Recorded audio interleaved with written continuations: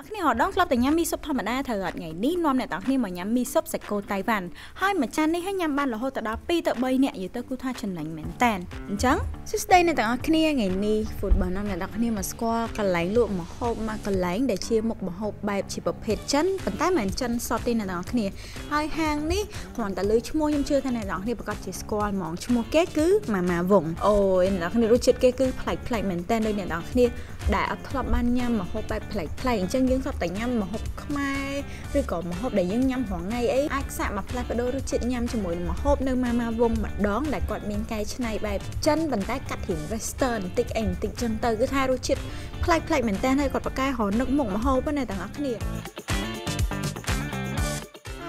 រដូវភ្លៀងចេះទៀតបើសិនជាអ្នកទាំងអស់គ្នាពិបាកក្នុងការមកញ៉ាំផ្ទាល់ដល់ហាងអ្នកទាំងអស់គ្នាក៏អាចធ្វើការកម្មង់តាម app Food Panda បានដែរហើយសម្រាប់ឥឡូវនេះ Food Panda គឺមានកម្មវិធីពិសេសកម្មង់កាន់តែច្រើនមានឱកាសឈ្នះកាន់តែច្រើនជាមួយនឹងកម្មវិធី Win Like a Panda ជារៀងរាល់សប្តាហ៍ហើយរង្វាន់គេមានដូចជាឡាន Toyota Ride មានទូរស័ព្ទ My iPhone 14មាន MacBook Air និងរង្វាន់ផ្សេងផ្សេងជាច្រើនទៀតអញ្ចឹងចង់ដឹងថាកម្មង់ម៉េចមក Football មកបរៀនអ្នកនរគ្នាដើម្បីកម្មង់ គ្រាន់តែយើងចូលទៅកាន់ app Food Panda ទៅជ្រើសរើសហាងដែលយើងចង់កម្មង់ម្ហូបហើយបន្ទាប់មកយើងរើសម្ហូបដែលយើងចូលចិត្តមកអ្នកទាំងអស់គ្នា